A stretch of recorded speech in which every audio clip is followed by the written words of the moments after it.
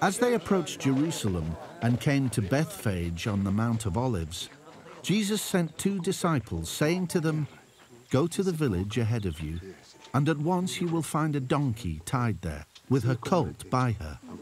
Untie them and bring them to me.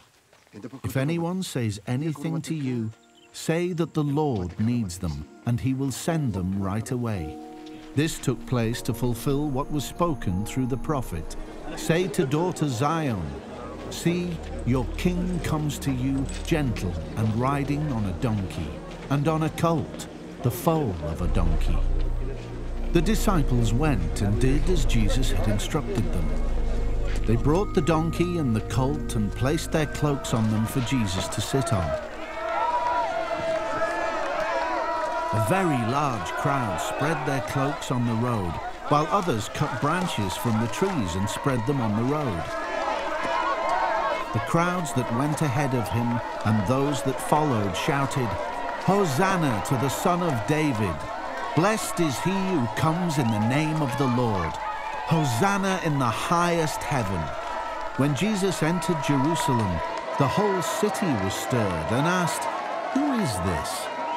The crowds answered, This is Jesus, the prophet from Nazareth in Galilee.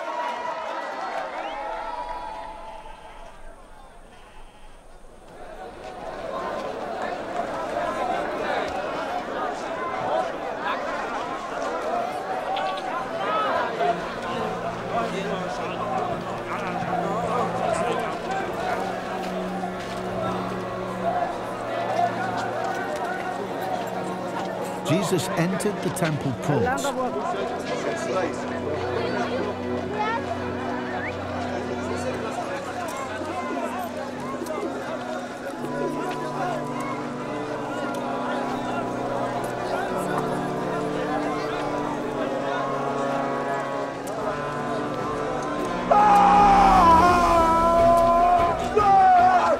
and drove out all who were buying and selling there. He overturned the tables of the money changers and the benches of those selling doves.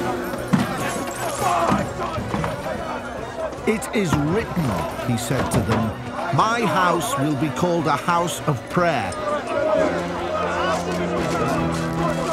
But you are making it a den of robbers.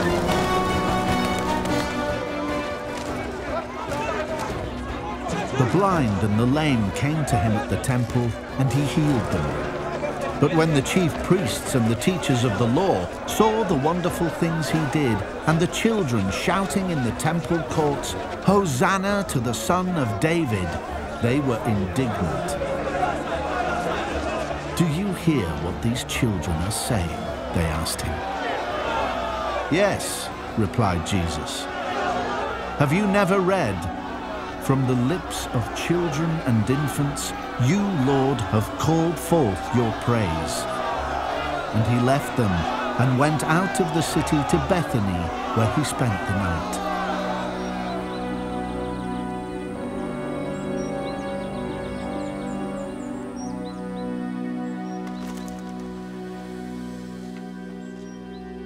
Early in the morning, as Jesus was on his way back to the city, he was hungry. Seeing a fig tree by the road, he went up to it, but found nothing on it except leaves. Then he said to it, May you never bear fruit again.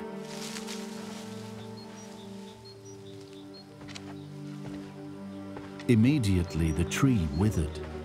When the disciples saw this, they were amazed. How did the fig tree wither so quickly, they asked. Jesus replied, Truly I tell you, if you have faith and do not doubt,